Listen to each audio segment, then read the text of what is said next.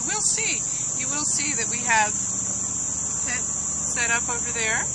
We are busy getting ready. You're, you're going to hear things in the background. We have um, a dear friend and fellow seminarian who's shy of the camera, so he's hiding behind the bushes, but he is uh, busy sweeping the terrace, and, and my husband Peter is carting tables to and from the, the truck out to the tent. So people are arriving at the airport, have to go pick folks up soon. So uh, a lot of busyness happening around here. And and what would you say to um, the people who, you know, for whatever reason had family obligations, or maybe were coming from a great distance, but who will be following this event? You know, maybe throughout the weekend watching the video clips, following the Twitter feed. Um, you know, what do you have to say to those virtual participants? I want to welcome everyone. You know, it is angels for everyone, there certainly is a magic in being able to attend in, in person, and I will be welcoming everyone who attends in person with big hugs and, and lots of lots of love.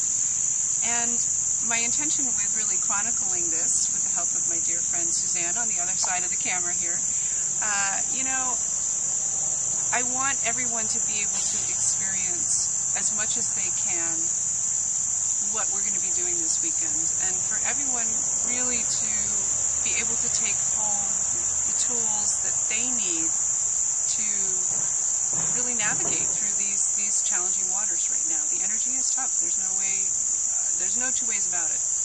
You know, there's there's so many examples that we can cite, and so again, I want everybody to be able to have access to those tools. So I welcome all of you guys for all the parts that feel right to you.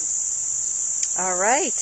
Well, uh, we will wrap this up now, and um, we will be having more video uh, in the coming days as the event gets underway. And um, any last message or blessing?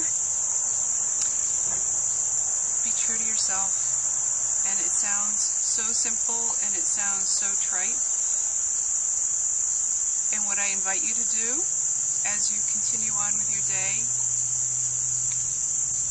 take that message of being true to yourself and allow it to sink further and further and further into your heart and to allow it to really sprout and grow and to help you to uncover what you're really here to do. With blessings of love, joy, and abundance to you. Be well.